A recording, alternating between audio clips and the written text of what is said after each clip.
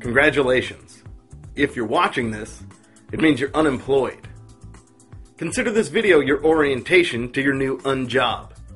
I'm going to show you how you can be the best unemployee that you can be. And I know you might be a little nervous because you may not have been unemployed before. But trust me, relax. Before you know it, your unjob will become your uncareer.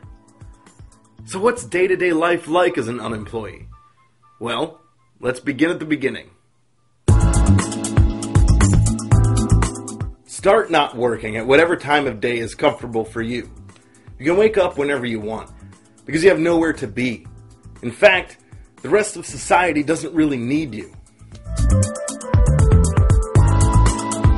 Wear whatever you'd like. There's no official unemployee dress code.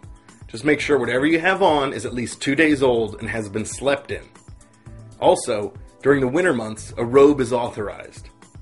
Unemployees should always be poorly groomed and unshaven. Remember, goal number one as an unemployee is save money. You can do this by not spending money on things like deodorant and razors. Shower or don't shower. Doesn't fucking matter. Find a comfortable place to not work. A couch or even your bed. A leather office chair might sound like a good idea, but that's the sort of thing that induces productivity. Laptops are meant to sit on your lap so use them accordingly. Your phone is ringing. Is it one of those places you sent your resume to calling you for an interview? No, it's not. Potential employers know that if you were actually hireable, somebody would have hired you by now. Check your email, your Facebook, and your Twitter in that order over and over again for hours while you watch DVDs of TV shows you missed while you were gainfully employed.